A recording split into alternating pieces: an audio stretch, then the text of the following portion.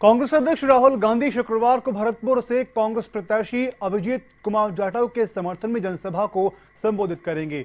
इसको लेकर के कांग्रेस नेताओं ने सभा स्थल का जायजा लिया। नुमाइश मैदान में आयोजित होने वाली इस जनसभा में मुख्यमंत्री अशोक गहलोत और उप मुख्यमंत्री सचिन पायलट सहित पार्टी के आला नेता मौजूद रहेंगे। वहीं सभा की तैयारियों को लेकर के एआईसीसी सचिव तरुण कुमार गुरुवार को भरतपुर पहुँचे और सभा स्थल का जायजा लिया।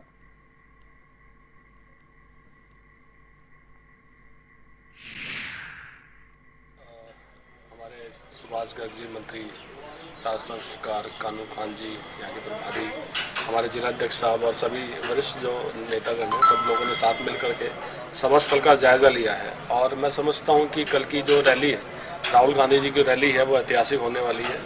और भरतपुर की धरती से एक बहुत बड़ा संदेश जाने वाला है, पूरे राजस्थान में ही नहीं सिर्फ़, और पूरे देश में, कि देश की जनता, राजस्थान की जनता बहुत तेज़ी के साथ जो है, वो कांग्रेस के साथ चलने के लिए तैयार है।